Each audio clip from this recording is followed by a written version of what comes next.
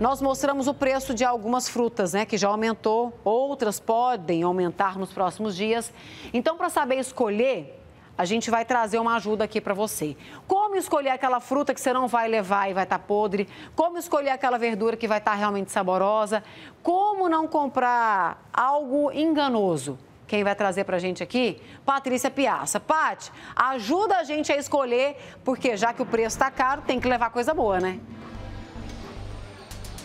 Exatamente, até para economizar, né, Manu? Se você levar um produto ali que já está perdido, vai acabar jogando no lixo e vai ser prejuízo no bolso. Quem está aqui comigo é uma especialista no assunto, Ariana Rezende, que é nutricionista, e ela vai dar algumas dicas de como economizar. Ariana, me conta, quando vai fazer a feira ali, está falando de frutas aqui, o que, que tem que fazer para poder gastar menos, digamos assim, porque está tudo muito caro, né? Bom dia. É, bom dia, com certeza. A gente tem que gastar menos né, e garantir a nossa necessidade nutricional. A dica número um que eu passo sempre para os pacientes é fazer a lista de compras já baseada nas frutas, nas verduras das estações. Elas são mais saborosas, mais nutritivas, porque foi, querendo ou não, obedeceu o ciclo natural ali daquelas verduras, daquelas frutas, estão mais doces e você consegue comprar de tudo um pouco sem gastar muito. Agora, Inclusive, você falou em frutas da época, né? Quais são as frutas da época? A gente está no momento de comprar o quê? Olha, banana, maçã, mamão, jabuticaba, o próprio abacate, o abacaxi. Então tem uma diversidade de frutas da época agora. O caju também estou vendo aqui. Bem nutritivo, bem doce e saboroso que você consegue incluir na sua lista de compra. Vamos começar dando a diquinha, então, para saber como que eu sei ali se aquela fruta está no ponto certo para levar para casa. A gente tem aqui o abacate, por exemplo. Como saber? O abacate ele tem que estar tá com uma casca, tá vendo, bem brilhosa, o mínimo possível de amassado, porque esses amassados, querendo ou não, fazem com que a fruta ela foi submetida ao processo dentro da caixa, então ela vai apodrecer com mais é, facilidade. Ao balançar o abacate, você vê que é uma polpa mais pesada. Então, essa fruta aqui, de fato, é uma fruta melhor para estar tá consumindo. O melão. Quando você comprar um melão, a dica que eu passo é olhar nas extremidades e dar uma palpada. Ao apalpar, se ela tiver muito dura, ele está verde. Se tiver mais macio, está pronto para o consumo. Sempre olhar a casca. Quanto menos, menos enrugado, quanto mais brilho, melhor. Exceto o maracujá. O maracujá também entra na fruta das estações e é a única fruta que você não vai comprar assim, preguiçosas. Não, pelo contrário, tem que estar mais assim amassado, porque aqui tá uma fruta com uma polpa mais doce. Rugadinho. E rugadinho. O maracujá é uma exceção. Tá certo. A gente tem aqui também, olha só, o mamão, a manga. Como saber? Porque a manga muitas vezes tá bonita assim por fora, mas por dentro já tá perdida, tá podre ali, né? Então aqui já pode pegar um exemplo. Essa aqui, se você olhar a característica da casca, já não está tão boa para consumo.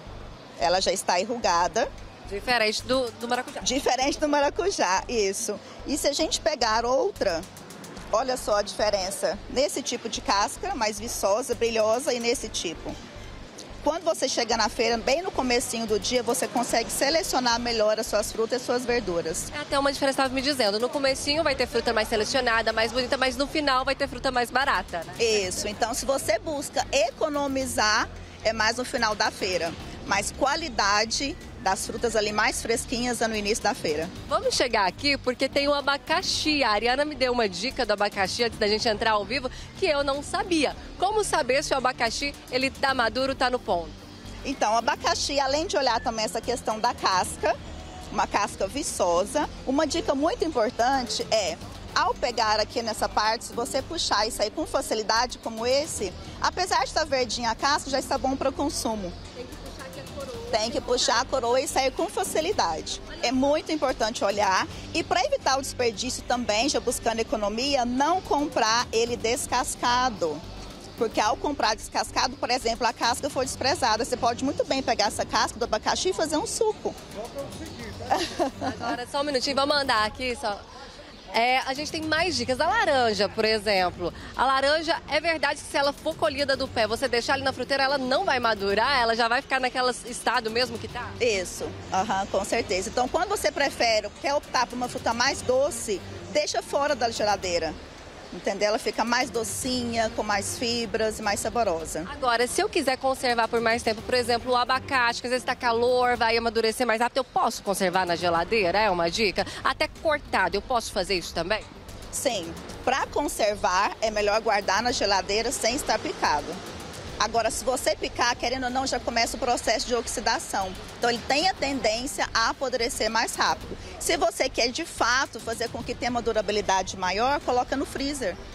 Ah, é uma dica interessante. Que não vai perder com tanta facilidade. Oi, Manu. A Manu tem pergunta do estúdio? Pode fazer. Deixa eu te perguntar sobre o morango, a respeito da folhinha do morango. Porque, assim, é, é, eu, eu, eu, minha mãe fala para mim que não pode tirar a folhinha do morango guardar sem a folhinha, porque ele perde mais rápido.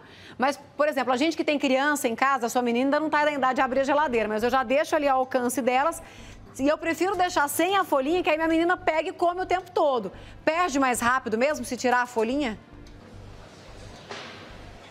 A folhinha do morango. A mãe da Manu dava a dica ali de não tirar a folhinha para não perder tão rápido. Isso é verdade ou pode tirar aquela folhinha? É verdade. O melhor é não tirar a folhinha do morango. Sua mãe tinha razão, Manuela. Por quê? Sempre mãe tem razão. Porque ao retirar a folhinha do morango, aquela folhinha protege o morango. Tá. Ao retirar, ele vai ficar susceptível ao processo ali de apodrecimento mais rápido. Olha só, Manuela, tá vendo? Sabedoria aí da mãe da Manuela. Agora, a dica é sempre pesquisar também. A gente está falando de diquinhas aqui para saber se o produto está no ponto e, da... e, claro, que em consequência, para economizar, para não levar um produto perdido, para não levar um produto que às vezes não está no ponto, né? Oi, Manu, tem mais perguntas? Tem outra pergunta. Já vou, já vou vir aqui de Manuela, dona de casa. Outra coisa que eu gosto de saber também. Às vezes as Pode crianças falar. não gostam de comer a fruta gelada. Eu parti, por exemplo, um pedaço do mamão, né? Lá em casa eu gosto de deixar ele já cortado, que fica mais fácil. Pra, é sempre para facilitar. Pra, é aquela coisa, né, Paty? Se a melancia tá ali cortadinha, você come. Agora, se tiver que cortar, você fica com preguiça. O mamão, se não for para comer gelado, eu posso deixar ele, por exemplo, cortado na metade na fruteira ou não? Ele vai perder, vai dar bicho?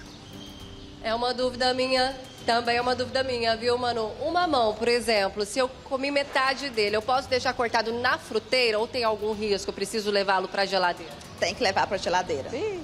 Porque ao cortar, como está muito quente aqui ultimamente, ao cortar e deixar fora, ele vai apodrecer mais rápido na geladeira, vai ficar bem mais conservado. A mesma coisa para outros produtos, também para outras frutas do mesmo tipo? Isso. E o ideal, além de cortar, não ficar colocando na geladeira sem nenhuma cobertura. É bom colocar aquele plásticozinho bem transparente ou colocar num recipiente fechado. Eu faço o seguinte, levo para geladeira, mas algumas horas, uma horinha antes de dar, eu tiro para ficar mais naturalzinho para dar para neném. Posso fazer isso depois voltar para geladeira de novo ou isso vai estragar a fruta? Se você tirar aquele porção, ainda mais quando for relacionado a alguma criança, é melhor você já dar aquela porção completa. Agora, quando é um adulto, você já pode voltar para a geladeira. Não tem problema você tirar um pouquinho e consumir, mas ficar colocando e tirando já não é tão legal assim. Pode estragar o produto. Pode estragar o produto, isso. É. E os nutrientes? Tá certo. O Manu tá aí, né? A gente depois que vira mãe fica cheio de dúvida, Sim. porque eu, na verdade, não comia fruta. Passei a comer depois da neném. Aí vem aquela preocupação. Quando é com a gente, a gente não preocupa tanto, mas quando é com a neném, com o filho da gente, a gente tem essa preocupação de como armazenar, de qual fruta é. dar, qual a melhor qualidade. Ali tá aqui a Ariana para ajudar a gente, né, Manu? É isso, Paty. E essas dicas são fundamentais para a gente poder conservar por mais tempo, para a gente ter aquela fruta bonita em casa, aquela verdura também. E é isso, né? Paty? Já que a gente tá falando desse papo mãe, quando a gente tem criança em casa, a gente tem que dar o exemplo, tá, gente? O exemplo arrasta. Não adianta mandar a criança comer o quiabo se você torce o nariz pro quiabo. Então tem que pôr a mesa, tem que estar ao alcance. Lá em casa, eu procuro sempre deixar a fruta ali à vista das crianças para poder estimular aquela vontade de comer. Senão nem a gente come, né, gente? Não adianta. Obrigada, Paty. Adorei as dicas dela, viu? Agradeço a Ariana por mim, por gentileza.